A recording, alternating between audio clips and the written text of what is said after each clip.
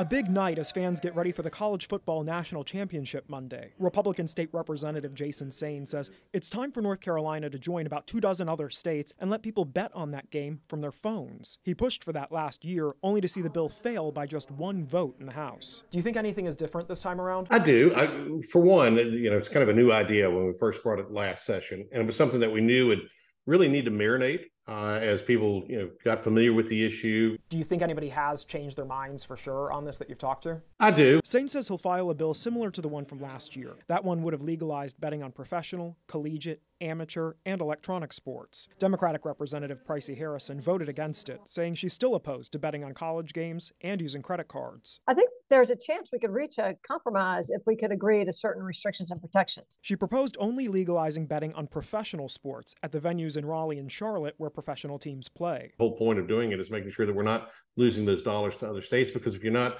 allowing college betting, they're just going to go to the other state, what they're doing now and, and place those bets. About a quarter of the General Assembly's members will be new this year, which could impact the outcome. There is a younger class coming in, and a bunch of the old guard uh, that were anti-gambling um, are gone and replaced by younger members, and that that dynamic might change the vote count a bit.